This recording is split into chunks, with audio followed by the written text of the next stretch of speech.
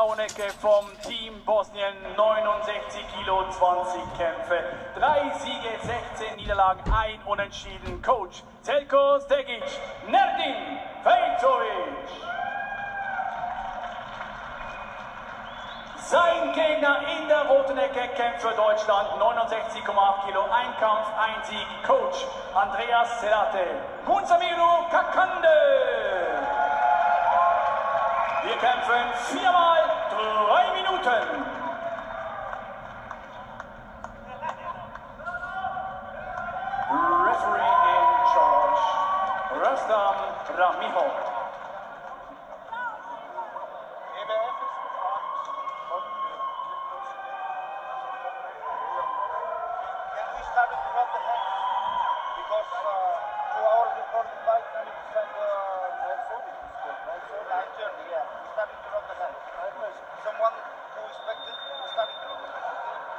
Einen Profikampf hat er bislang bestritten und gewonnen. Musamiro Kakande in der roten Hose, ein bemerkenswerter junger Mann aus Uganda, der mit dem festen Willen nach Deutschland gekommen ist, es hier zu schaffen. Einer, der sich nicht schont im Training, klotzt und nichts dem Zufall überlässt. Nach dem Sieg über den Kroaten Ivica Gogosevic will er sich heute Nerdin Fesovic aus Bosnien und Herzegowina vorknöpfen.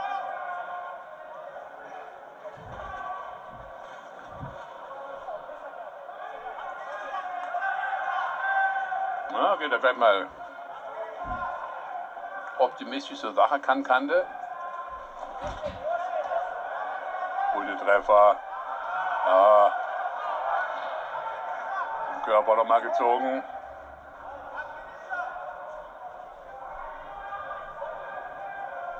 Schuh kaputt.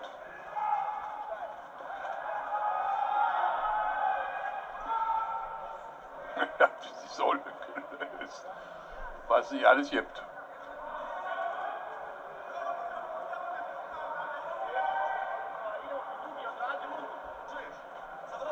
Ja, schnell präpariert das Ganze. Musamiru Kakande, 28 Jahre alt, in Kampala in Uganda geboren.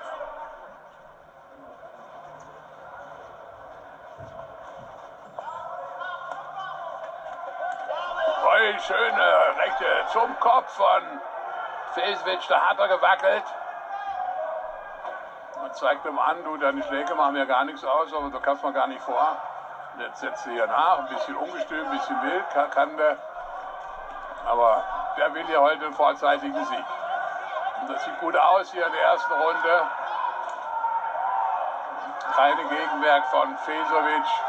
Spielball der vollste Kakandes.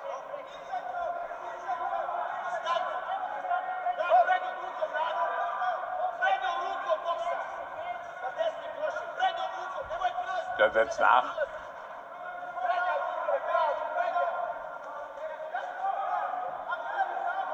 Rechtsausleger. Ja, ein bisschen weit weg vom Gegner dort. Das hat am Seil. Aber da muss er ganz schön anstecken, schon in der ersten Runde.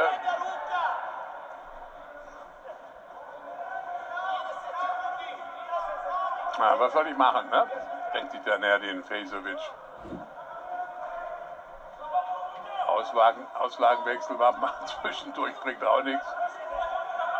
Und mit dem Kopfschütteln nützt auch nichts. Zack, wieder die rechte. Er treibt ihn vor sich her. Kopftreffer. Versucht jetzt da irgendwie über die Zeit zu schmuggeln, der Fesovic.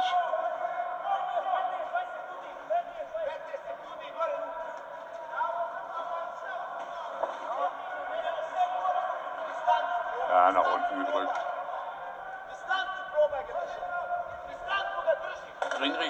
Rustan Raimov. Ja, schauen wir uns mal die letzten Sekunden an hier. Da gibt es noch mal ein bisschen Klopp, er hat sich weggedreht, der Fesovic. Applaus, meine Ja, Damen und schöner Kampf als nicht, aber klare Angelegenheit für ähm, Musamiru Ka- Kande. Ja, und der Ringrichter, ich habe gesagt, Rustan Raimov, immerhin fünfmal deutscher Meister gewesen in seiner aktiven Zeit. Olympia Dritter 2004 in Athen im Fliegengewicht, hat er die Bronze Bronzemedaille geholt, 2005 sogar die Weltmeisterschaft Silbermedaille. 2008 hat er nochmal an Olympischen Spielen teilgenommen in Peking, ist allerdings dann in Runde 2 ausgeschieden. Zweite Runde vorbei.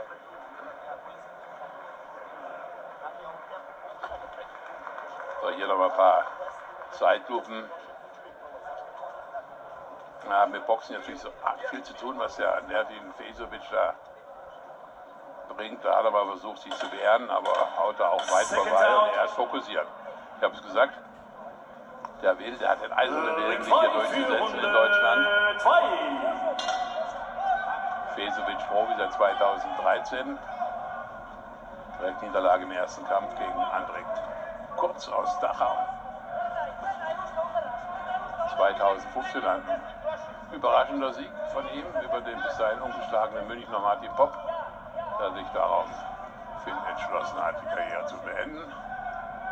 Und das war es dann schon mit den Erfolgen, die nennenswert sind von Fesovic.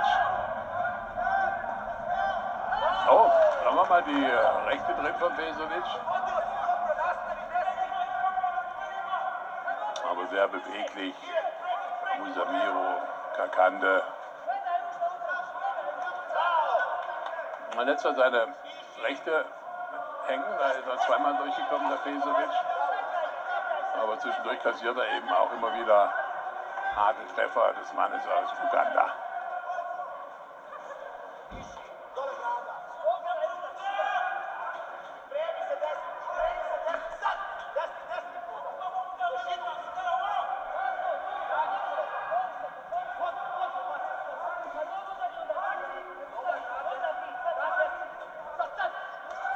So, jetzt wieder eine normale Auslage, Kakande.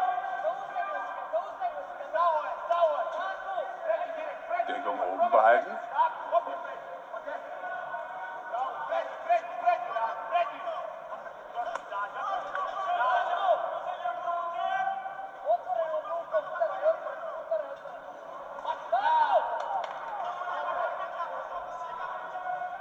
Hat sich jetzt ein bisschen besser auf Kakande eingestellt, der Nerdin Pesovic.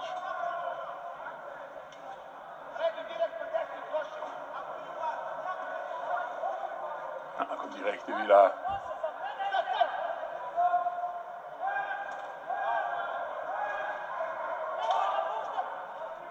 Naja, wilder Schlagabtausch da. Bisweilen zwischen beiden hat er den Ellbogen geschoben, Kakande.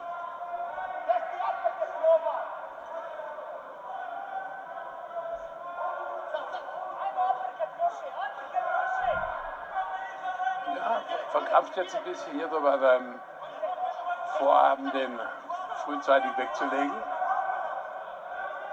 Die richtig klaren Treffer in der zweiten Runde sind nicht gekommen.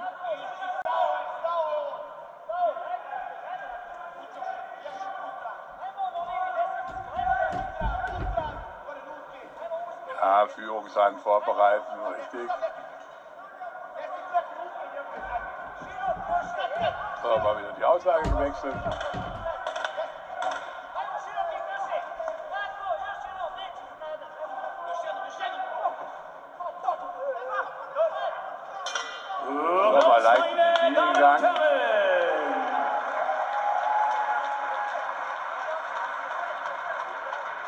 Ja, aber alle, die gedacht haben, jetzt in der zweiten Runde ist die Sache vorbei, nach der ersten sehr guten Runde von Kagane, die haben ein bisschen getäuscht. Der Fesovic hat sich da jetzt doch so einigermaßen taktisch berappelt. Kakande qualifizierte sich als Afrikameister für die Weltmeisterschaft 2017 in Hamburg. Schied allerdings frühzeitig gegen den US-Amerikaner Quinton Randall aus. Der ist inzwischen ebenfalls Profi. Neun Kämpfe, acht Siege, ein Unentschieden.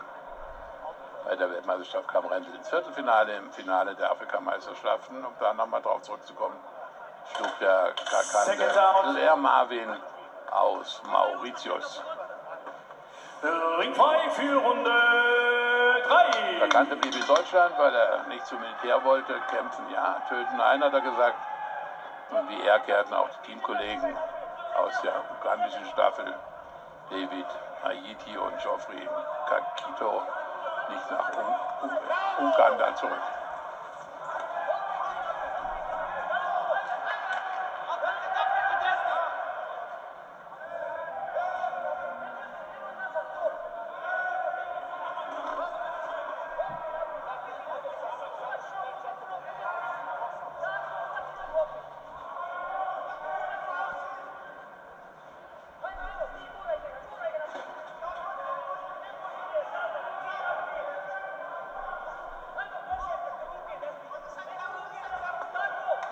Da muss er aufpassen, hat er wieder die linke hängen lassen und da rauscht so ein mächtiger rechter Haken da an seinem Kopf vorbei. Wieder.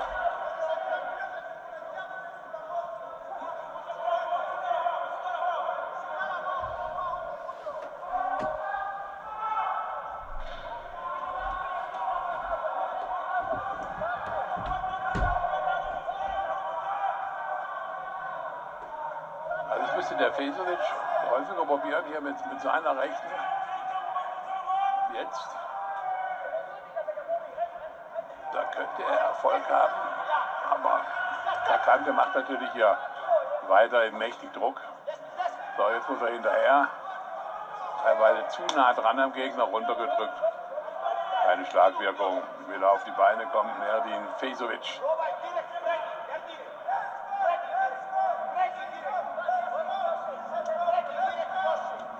Aufwärtshaken, okay. So, hinterher jetzt.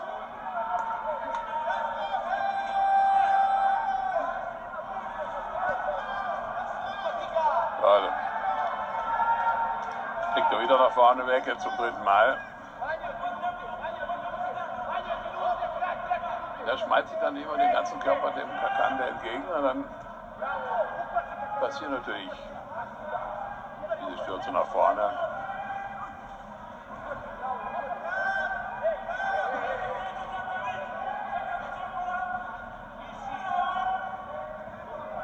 Also im Boxen nicht catchen. Weiter, weiter, muss dranbleiben jetzt. Zweimal schön getroffen.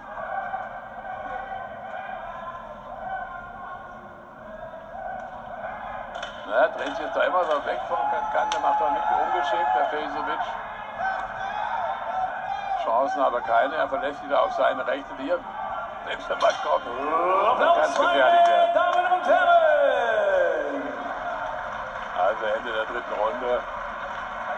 Verbissenes Kämpfchen, klare Sache für Musamiru Kakande. 2018 startete er bei den deutschen Meisterschaften, kam bis ins Viertelfinale, gab es eine umstrittene Niederlage gegen Nick Bier. 2019 schaffte er ins Halbfinale, Niederlage gegen Paul Wall. Hier nochmal die wilde Prügelei zwischen den beiden. Er müsste ein bisschen mehr mit kühlerem Kopf kämpfen. Der Kakande betreut wird er von Andreas Silate. Seconds out. Und dann er den Fesovic, wie gehabt heute Abend. Ringfrei für Deko Runde Stegic 4. hat einiges zu Letzte tun. Mit in der Runde. Ecke. Simjunovic. So, sehr schön. Umarmt die Fight nochmal vor der letzten Runde. Dann kann ich mir vorstellen, dass der Kakande jetzt auch versuchen wird, hier die Sache noch vorzeitig zu erledigen.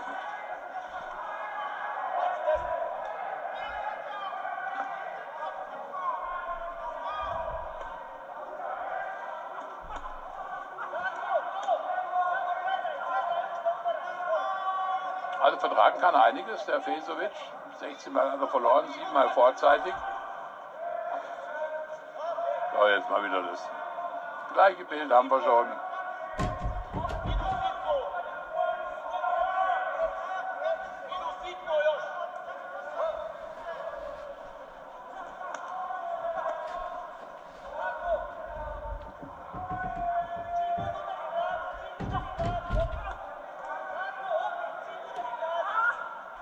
Also die beste Runde war Runde 1 für Kakande.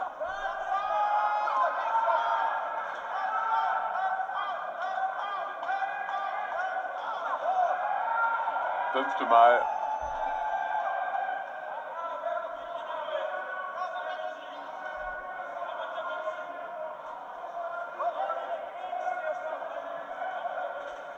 Also schönes Boxen sieht anders aus. Aber er will jetzt unbedingt halt der vorzeitige gewinnen und dann verkrampft er jetzt auch der Kakande. Der andere macht das für seine Verhältnisse geschickt, der klappert, lässt sich da mal nach vorne fallen, bringt alles Zeit. Aufwärtshaken, der kam gut mit Nachsetzen. Linke war drin, rechte vorbei. Da, zwei schöne Kopftreffer. Die hat er gespürt, es wackelt ein bisschen und geht wieder runter.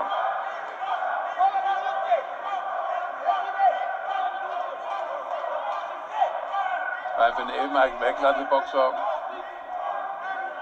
wie den Rustan Rahimov da als Ringrichter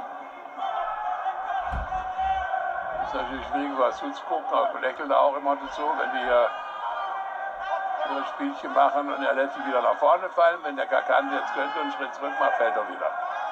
So, dranbleiben jetzt als am Ringseil. Jetzt klammert er die Arme von Kakande.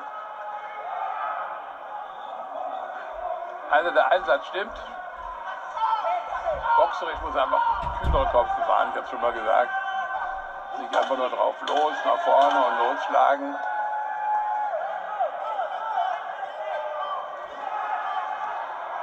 So, Wacker nochmal, nochmal schön getroffen. Applaus, meine ist der Kampf vorbei. Der. Fesovic wird froh sein, dass er über die Runden gekommen ist und Mark Kagande kann nicht zufrieden sein. Das war alles noch, naja, ist halt noch Anfänger im Profiring. Darf man nicht vergessen, der 28-Jährige kämpft in der Bundesliga, übrigens auch für BSK Hannover Selze und trainiert im Münchner Boxwerk unter Andreas Sellack. Wurde auch von Ex-Weltmeister Kasim Uma unter die Fittiche genommen. Kasim Uma, ein Weltmeister aus Uganda. Da gibt es ja vier insgesamt. Cornelia Busa Edwards war 1981 im Superfedergewicht-Champion.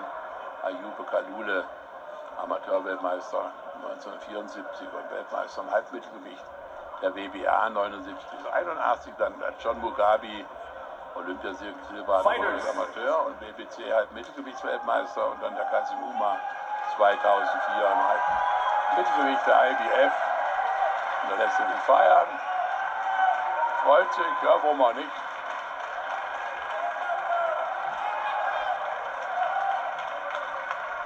Kleines So, meine Damen und. Herren, nochmal großen Applaus für beide Kämpfer.